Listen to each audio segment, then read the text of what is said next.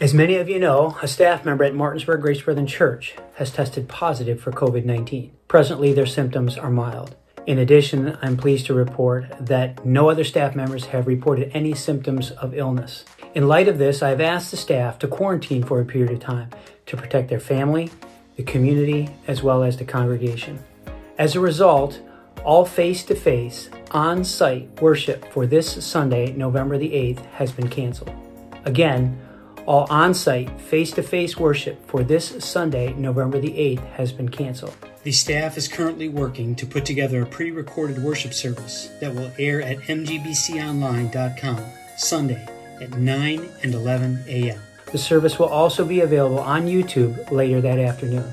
Please continue to pray for our staff as well as those in our community that have been impacted by COVID 19.